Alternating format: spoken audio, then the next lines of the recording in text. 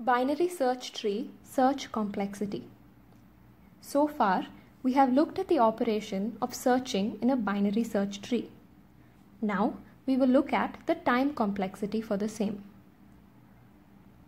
So let me start by taking two examples of a binary search tree.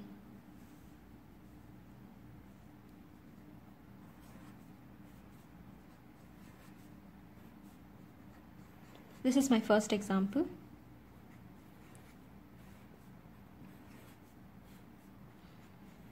And this is my second example.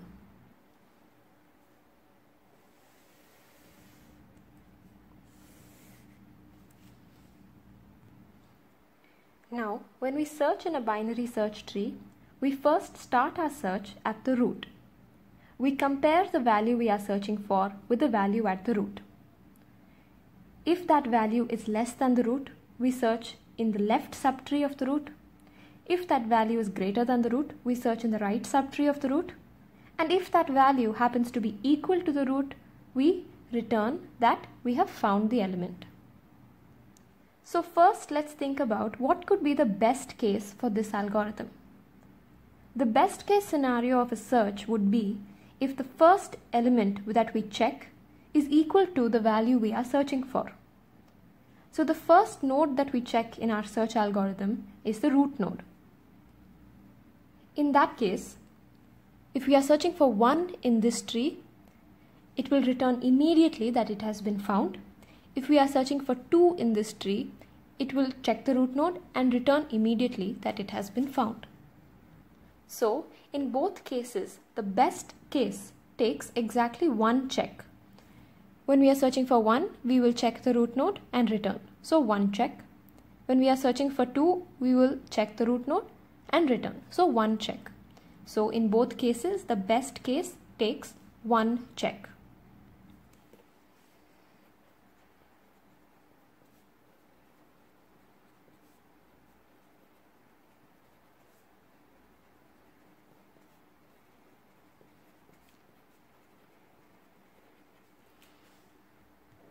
Now let's look at the worst cases. The worst case would be if we are searching for an element which is stored at a node that is the furthest from the root node. Because then we will have to make the maximum number of checks to actually reach that node. So in this case, the furthest node from the root node 1 is 3. And in this case, the furthest node from 2 is either 1 or 3. It's equally far apart from 2. So let's look at the first tree. The worst case is when we search for 3. So let's see how many checks that takes. We go to the root node which is 1. 3 is greater than 1. So we go to the right subtree of 1 we go to the root which is 2. 3 is greater than 2. So we go to the right subtree of 2. We go to the root of the right subtree of 2 which is 3. 3 is equal to 3. So we return true. So there are how many checks happening? 1, 2, 3 checks. So in the worst case which is search of 3 we have how many checks? We have 3 checks. Let's look at the case for this tree. So the worst case, it can either be search of 3 or search of 1. Let's take search of 3. So we go to the root node. 3 is greater than 2. So we go to the right subtree of 2. 3 is equal to 3. So we say that 3 has been found. So how many checks that does that take? One, two checks.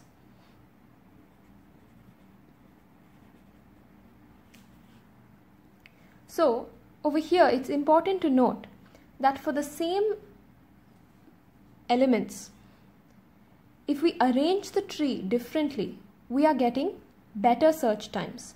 In the first case, we are using three checks and in the second case, we are using only two checks. So why does this happen? This is because in the first tree, 3 is further away from the root than in the second tree. In this tree, 3 is 2 edges away and in this tree, 3 is only 1 edge away. So what we can say by this is, the worst case complexity depends on how far the furthest element of the root is. In this case, how far 3 is from its respective root. So if we are trying to find out how far the furthest node from the root is, this reminds us of the definition we gave for the height of a tree. The height of a tree gives us the number of edges from the root to the furthest leaf. So the height is going to give us how far away that furthest leaf is from the root. In our case, the lesser the height of the tree, the better the search complexity is going to be. Or in other words, we can say that the search complexity is going to be order of the height of the tree in its worst case. So we can say that in worst case, search is order of the height of the tree. So now let's go back to our examples. Let's look at this tree and let's try to find out the height. 3 is a leaf node, so its height is 0. Then we go here. 1 plus the maximum height of its children, so 0 plus 1, height of 2 is 1. Then we go to the root node. 1 plus height of maximum of its children, so it's 1 plus 1, which is 2. So the height of this tree is going to be 2. The calculation of height has already been handled in a previous video. So the height of this tree is going to be 2. And how many checks are we making in the worst case? We are making 3 checks in the worst case. So the number of checks is going to be 1 plus the height of the tree. Let's go to the second tree. The height of this tree, the height of 3 and 1 are both 0. The height of 2 is going to be 1 plus the maximum of 0 and 0, which is 0. So the height of 2 is going to be 1. So the height of this entire tree is going to be 1. How many checks are we making? We are making 2 checks. So it's going to be 1 plus the height of the tree. So to accommodate for this 1 which we are adding to the height, we are going to add a layer of dummy nodes or external nodes. So this is going to give a boost of 1 to the height of the tree so that we can say that the searching is order of height. So let me give the dummy nodes.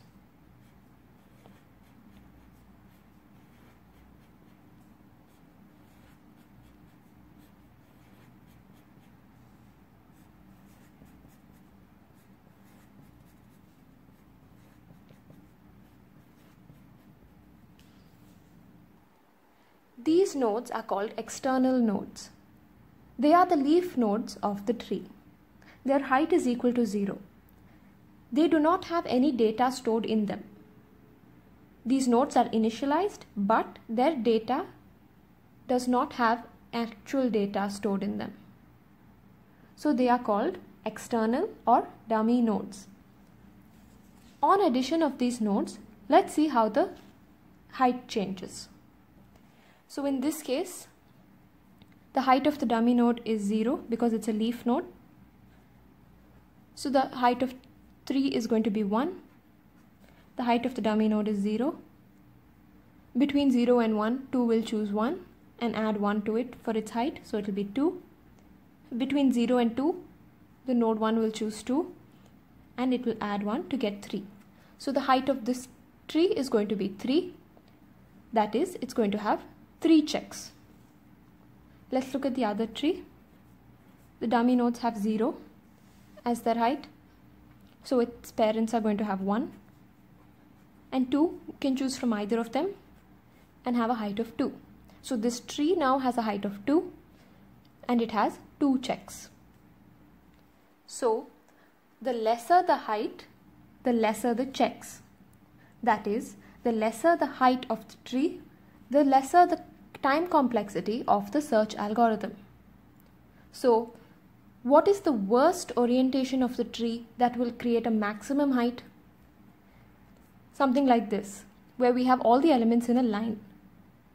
So what is the maximum height?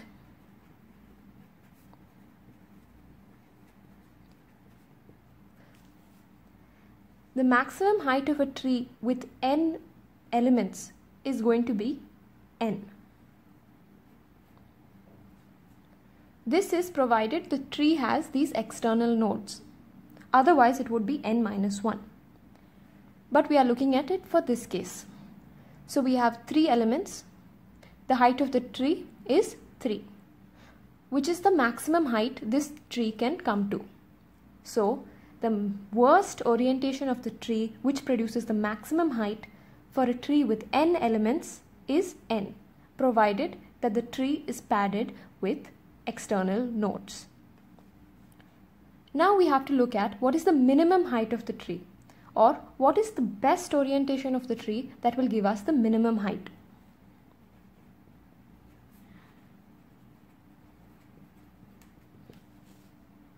We can say that for a tree with n nodes, the best height for the tree or the minimum height of the tree will be log of n to the base 2 floor value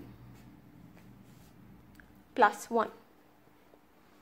This is going to be the minimum height of the tree when the tree is padded with external nodes. If it did not have the external nodes, it would just be log to the base 2n floor value. Let's see how it works in this example. We have three nodes. Log to the base 2 of 3 is going to be a value that is greater than 1 but less than 2. So 1.5 something. So the floor value of that is going to be 1. 1 plus 1 is going to equal to 2 which is going to be the height of our tree given that it has external nodes. So this is the maximum height and this is the minimum height. So with the maximum height our search algorithm will be order of n and in the minimum height our search algorithm will be order of log n.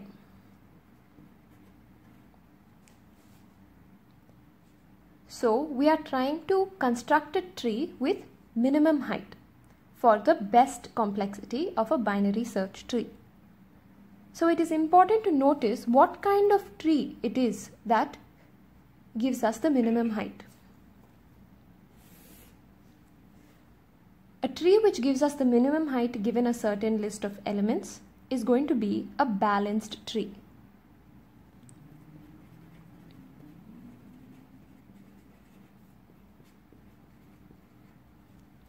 So a balanced tree is one that ensures that no two siblings are more than a height difference of 1 apart.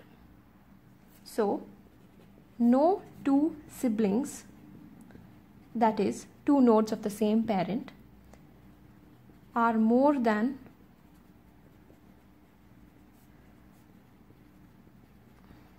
a height difference of 1 apart. So if they have no height difference, that's fine. If they have a height difference of 1, that is also fine. But the minute they have a height difference of 2, then it is no longer a balanced tree. So let's look at this example. If we look at this set of siblings, this external node and 2, the height of the external node is 0 and the height of 2 is 2. So the height difference becomes 2. Therefore, we can say that this tree is not a balanced tree. Now if we go to the next example, nowhere does the height difference exceed 2 or exceed 1. These two have a height difference of 0, 1 and 3 have a height difference of 0. So this tree can be said to be balanced. And therefore, since it's balanced, it gives us the minimum height. Since it gives us the minimum height, it gives us a search in order of log n time.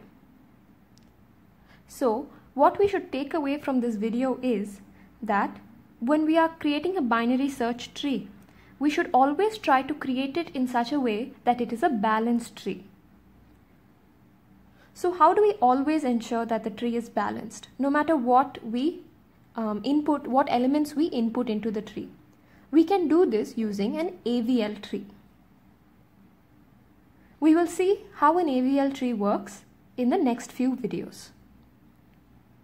But this is how you analyze the search complexity in a binary search tree.